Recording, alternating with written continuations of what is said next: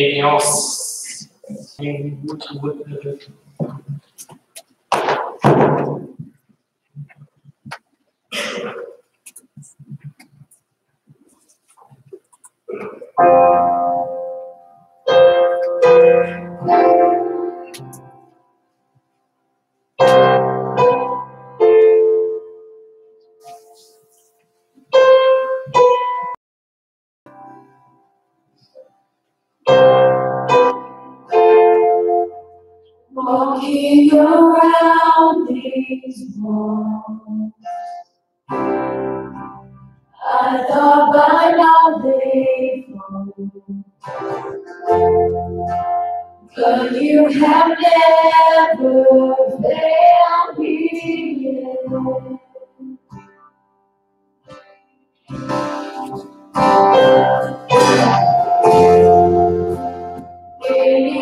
Waiting for change to.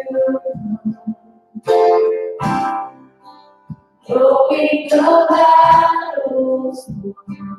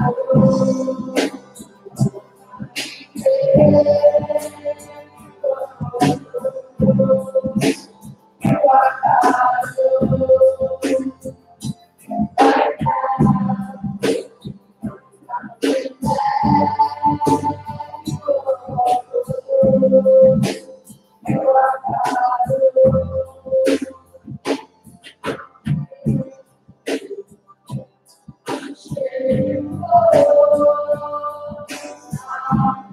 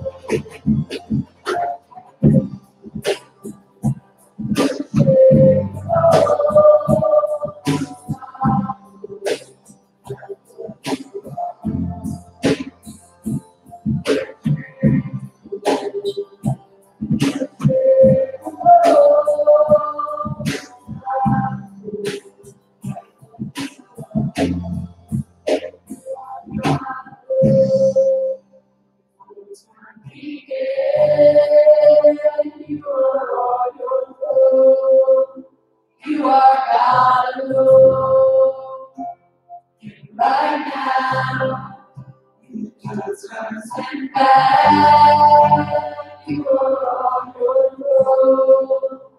You are God alone.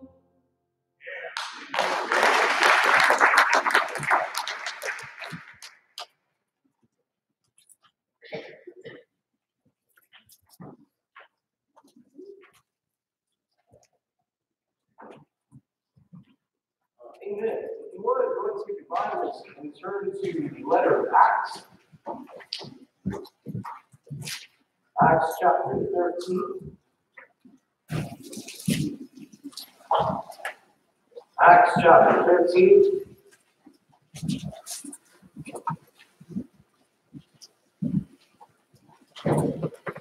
Acts chapter 13, and we're going to start right there at verse 1.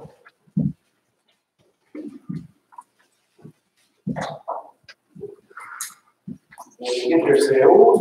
Oh, yeah. All right, very good. Acts chapter 13, start at verse 1, and we're going to read to verse 13 together. And This is what took place in the life of the apostles Paul.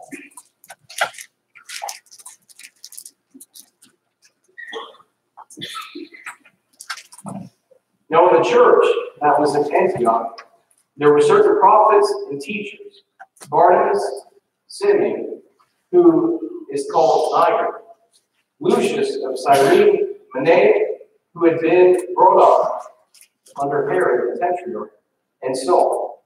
As they ministered to the Lord and fasted, the Holy Spirit said, Now separate to me Barnabas and Saul for the work to which I called.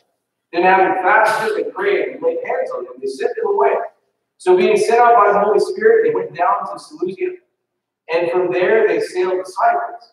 And when they arrived in Salamis, they preached the word of God in the synagogues of the Jews. They also had John as their assistant.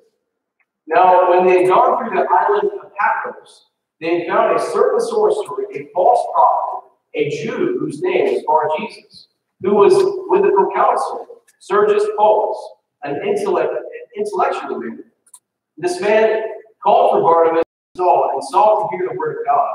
But Elymas, uh, the sorcerer, for so he, his name is translated, withstood them, seeking to turn the proconsul away from the faith. Then Paul, who was called, excuse me, then Saul, who was called Paul, filled with the Holy Spirit, looked intently at him and said, O full of all deceit and all fraud, you son of the devil, you enemy of all righteousness, Will you not cease perverting the straight ways of the Lord? And now indeed the hand of the Lord is upon you, and you shall be blind, not see the sun for a time. And immediately a dark mist fell on him, and he went around seeking someone to lead him by the hand. Then the proconsul believed when he saw what had been done, being astonished at the teaching of the Lord. Now when Paul and his party had set sail from Paphos, they came to Perga and Pamphylia, and John, departing from them, returned to Jerusalem. Let's pray with me. Lord Jesus, we thank you for your word. We thank you for the testimony of the Apostle Paul and the disciples that traveled with him.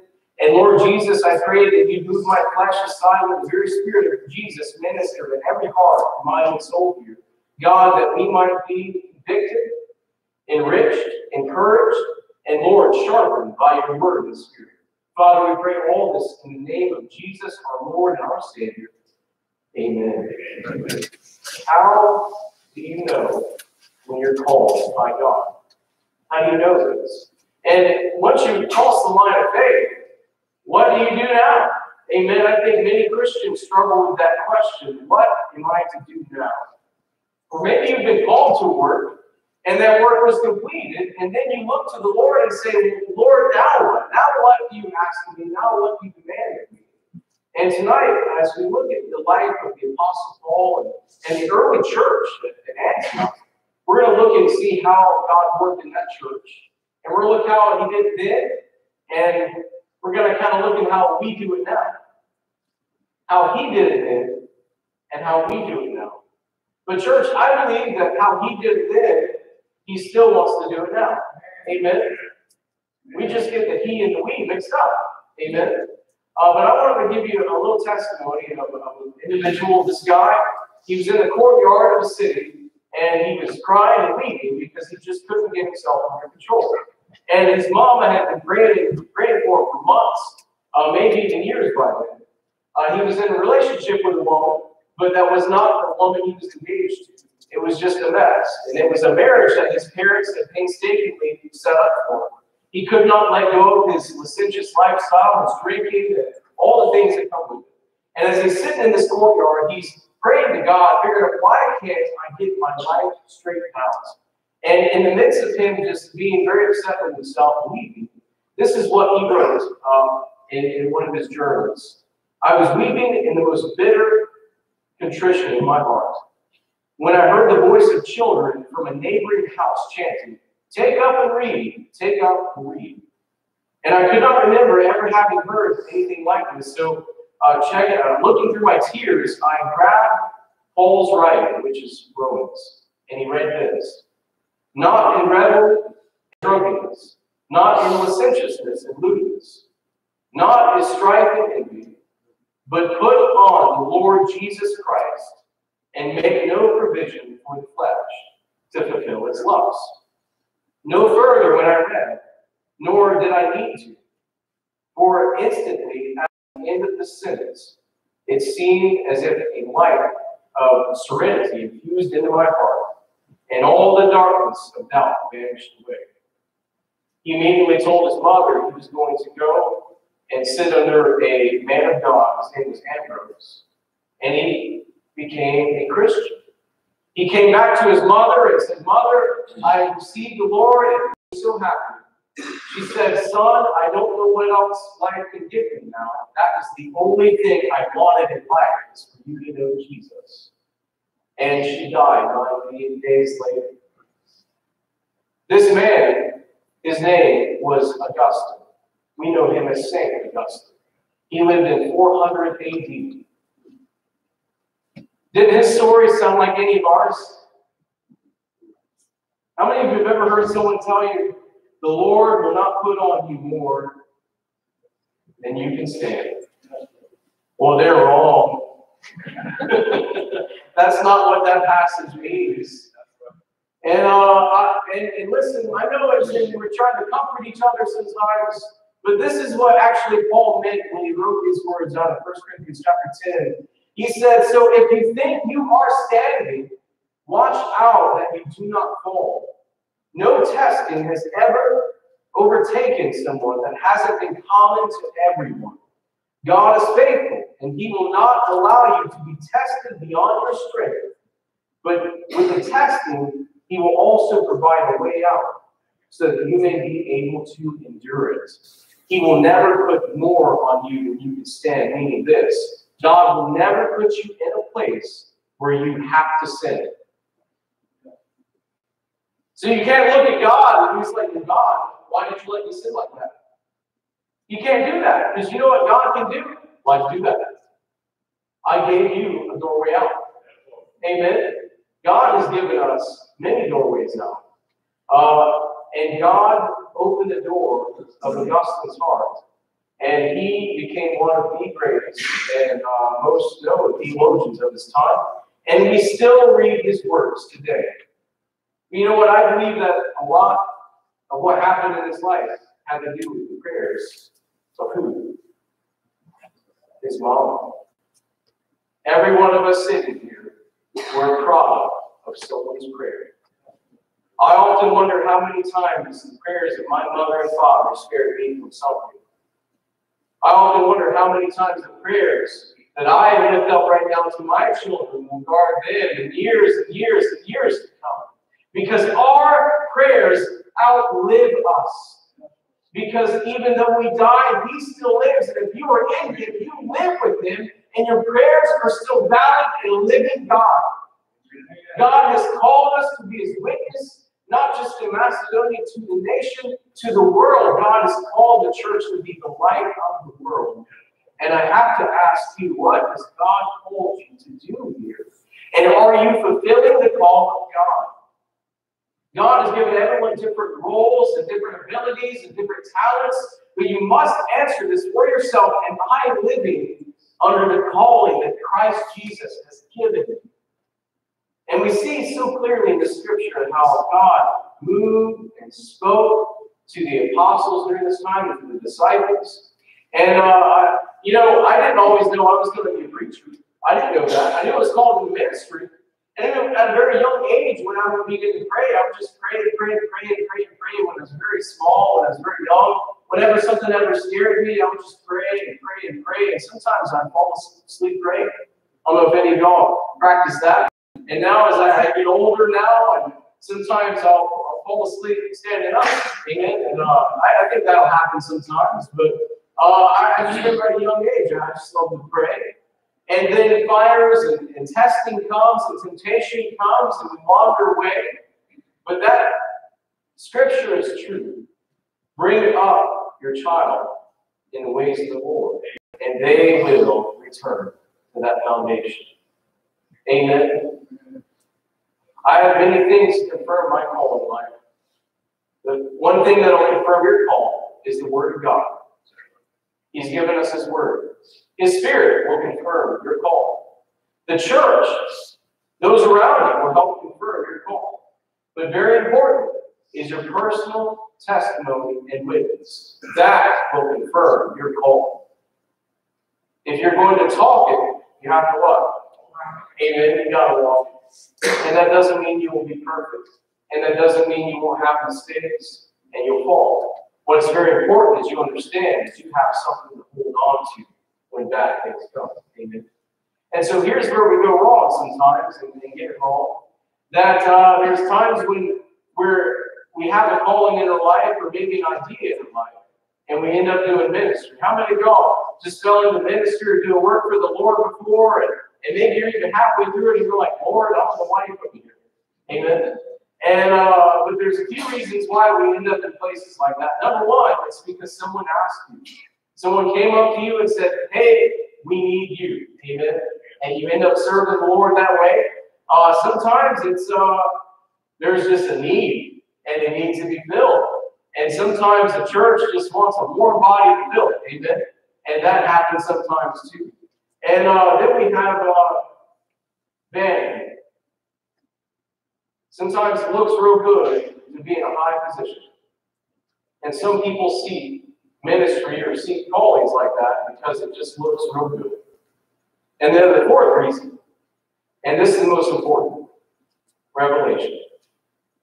God revealed to you his will for your life. And this is exactly what happens in this chapter here. And there's only a few ways you can ever get a revelation from God. But one way is certain spending time with Him. You can't go wrong with that, spending time with the Lord. But I want to look very closely at the scripture and see how God did it and then investigate and see how we do it now. Look at uh, verses 1 through 3 with me very closely again. So we have them at the church of Antioch, and there were certain what there? Prophets and teachers. Barnabas, uh, Simeon, who is called Niger, Lucius, Cyrene, Manaen, those who brought up under the, or who had been brought up under the tetrarch and Saul. Saul's last there, isn't it? Have you ever listened to the Gospels whenever they mention the apostles or mention the disciples, they always put who first? Peter. And then they end with who? They end with Judas. They go from Peter all the way to Judas in the Gospels. And they're allotted that way because of some type of position going on. When this moment here, Saul, who will one day be called Paul, one of the greatest New Testament writers and church planners, where is he at? He's at the bottom of the list right here, which is pretty extraordinary. And as they were together, and I love how it says, as they ministered to the Lord. This is that word ministered is uh, uh, liturgia in the Greek, which is where we get the word liturgy or liturgy which means this an order of service. Whether you know it or not, we just had an order, order of service tonight.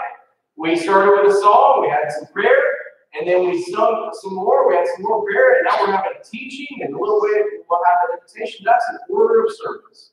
And so as they're ministering to the Lord in a certain way that they probably do very frequently, they're, they're giving him service and, and they're praying to him, worshiping him. And then it says what?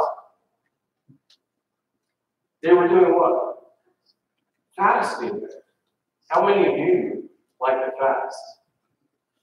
How many of you have never fasted ever in your Christianity? Amen. That's all right. Let's be bold. If you've never fasted, that's all right. Amen. Uh, how many of you tried it and you said, nah, that's not for me? Amen, right? Oh, well, these guys were ritually doing this a good bit. They were giving service unto the Lord in a, in a, in a very structured way, and they were fasting, and the Holy Spirit was present. Amen. And the Holy Spirit spoke to them. It spoke to them. And it said, Now separate to me Barnabas and Saul for the work to which I have called. And then having, and they did some more what? Fasting, and they prayed, and they laid hands on them, and then they sent them away. I love this. You know what they didn't do? They did it all wrong. They uh, they uh, didn't have a vote. They didn't vote on this, right? Uh, they uh, didn't call a committee together and make sure to confirm these guys, did they? Well, they were Baptists, apparently. I don't think they were. I bet they ate them, didn't they? After they fasted. Amen. Uh, now, this might be a little foreign to us a little bit, but they strictly depended on prayer, fasting, and the Holy Spirit. And the Holy Spirit spoke for itself. I think that's pretty extraordinary. And it's hard to find uh, a church these days that do it this way and uh, not get so complicated sometimes. Now, um, some of us aren't a fan of fasting, so uh, I, I do want to read you a passage of scripture. Jesus says, uh, not if you fast, he says, when you fast. And he says, and when you fast, don't look dismal or like hypocrites who make themselves look miserable as they're fasting, so everyone will know hey, I'm holy, I'm righteous, and I'm fasting. Amen. Because God who sees in secret. Amen. Amen. He wants to bless you and enrich your life secretly. Because at the end of the day, what we do for God should be solely for God. Amen. It's for Him, not for appearances, not to look good, not to look righteous, but the, the end result of fasting is always seeking His revelation. You want to get closer to God, you want Him to reveal something to you.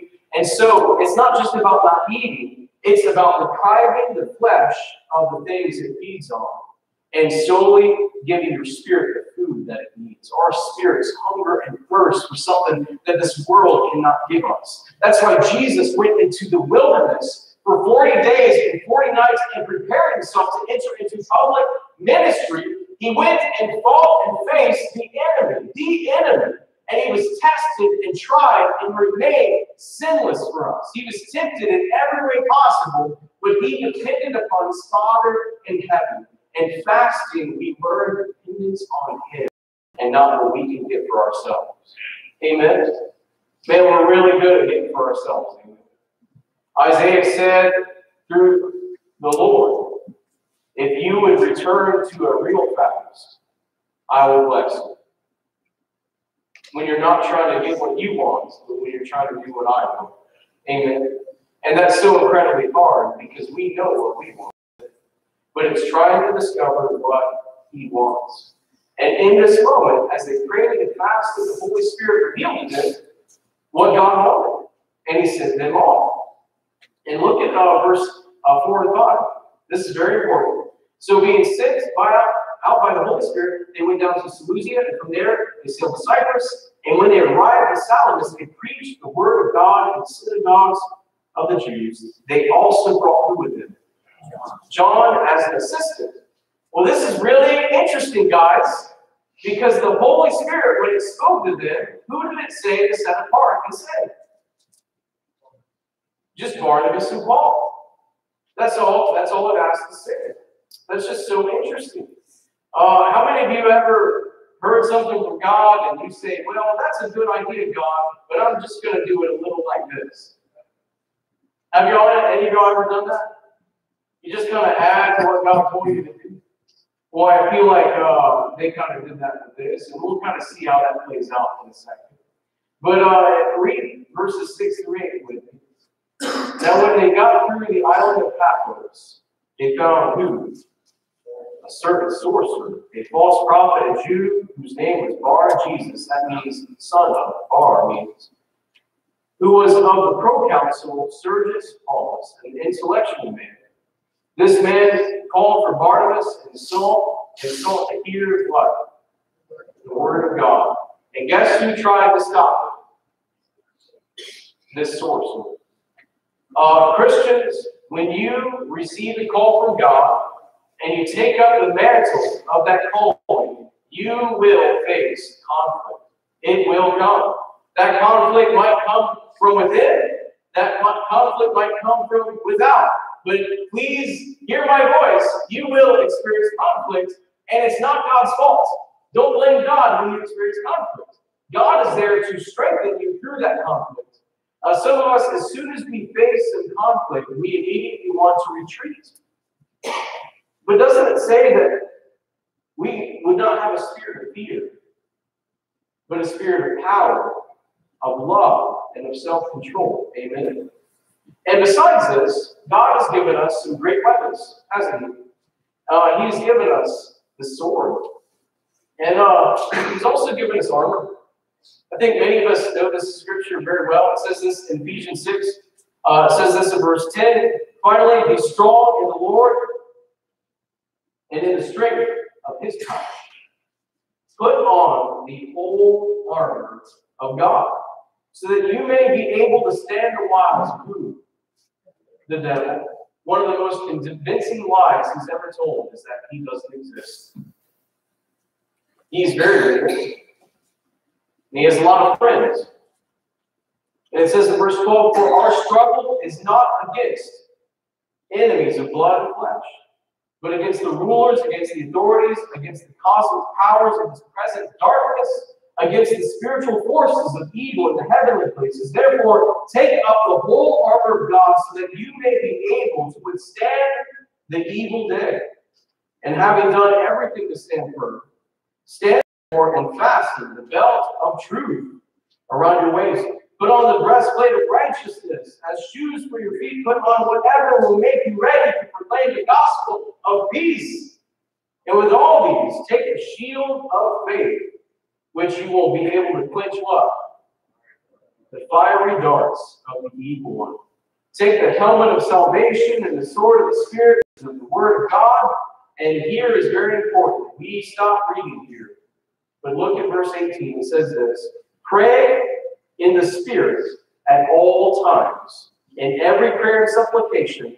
To that end, keep alert and always persevere in supplication for all of the saints. Pray in His Spirit constantly. That will hold some things together.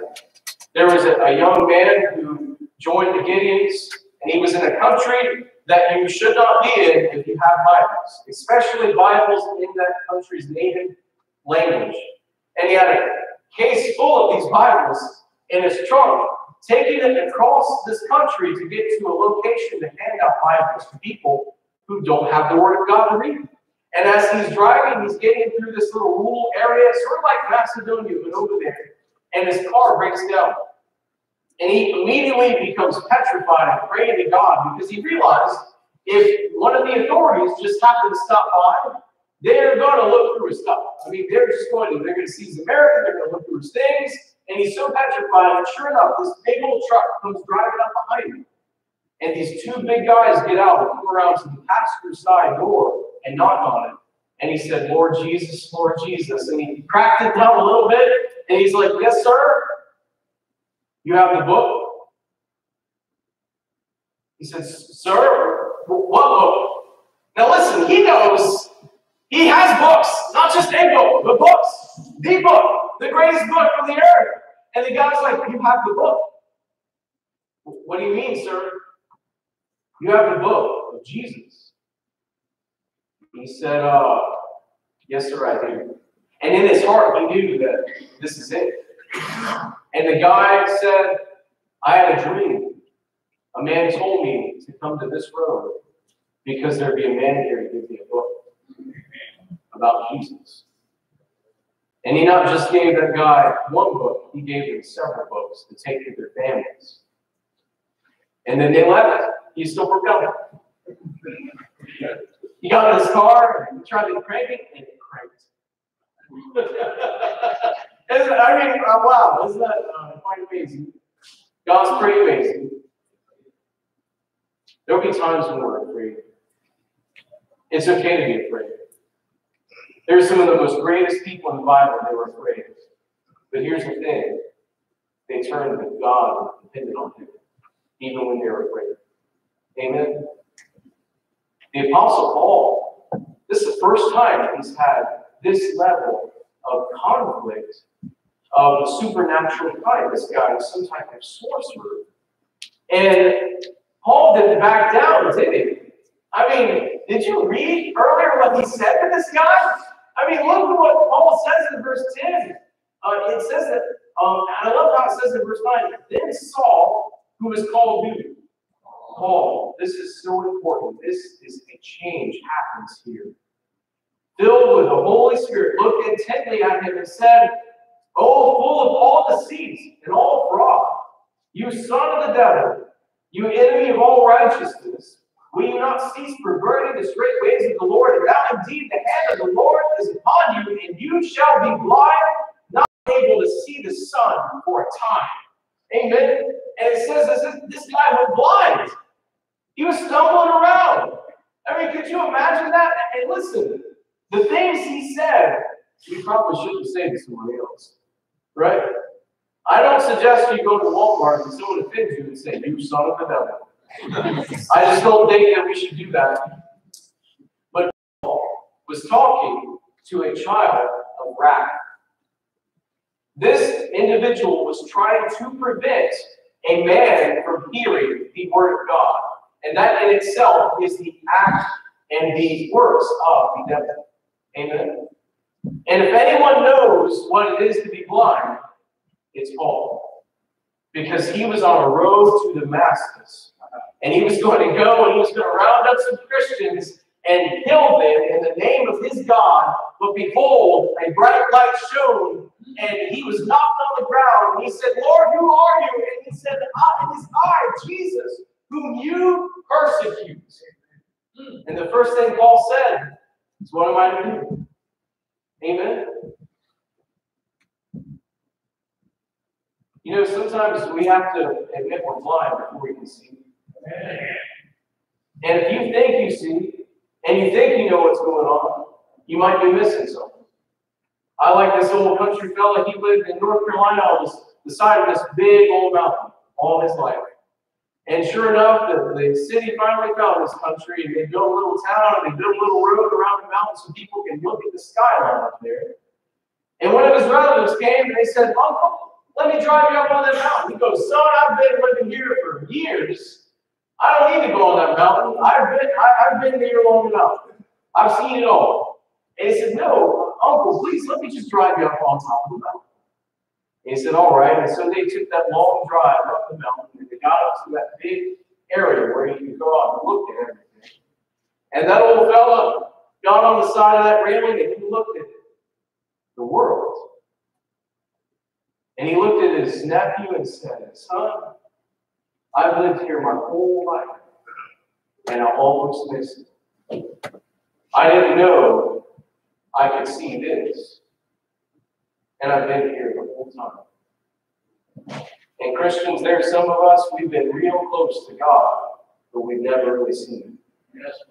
We've been real close to religion, but we've never really lived and been in church. And if you're not careful, you might get so close and you miss it. What we need to do is pray and fast and seek Him. And God will open up our minds and our hearts to things we haven't seen before. You see, after this moment, after Paul kind of takes over, look at verse 13. Now, Paul and his party set sail. You see, Christians, when it started out, it was Barnabas and Saul. Now, in this moment, it's Paul in his party. The Holy Spirit set aside Paul to be a leader. And then it says, John Mark left. And later, when John Mark wanted to come back and travel with them, Paul said no, and Barnabas said yes. And their contention grew so much that Paul and Barnabas split ways. And they've been buddies for years and years. Paul just didn't want nothing to do with John Mark because he thought he was a quitter. You know what it says later in Scripture? One of Paul's last letters he ever wrote, 2 Timothy. He said, Please send Mark, for he is useful to me this time. And let's not forget that it was Mark who penned the Gospel of Mark that we have today. Guys, sometimes we're going to fail. We're going to fail. We're going to fail bad. But that does not exclude you from the power of what Christ can do in you. Amen. Stand as we go to Lord in prayer.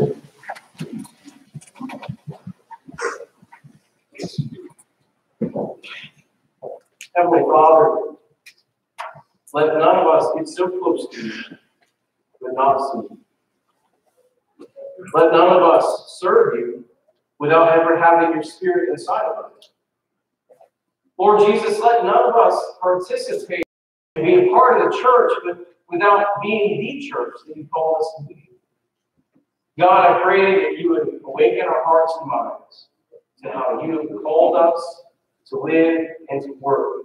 And we pray all this in Jesus' name.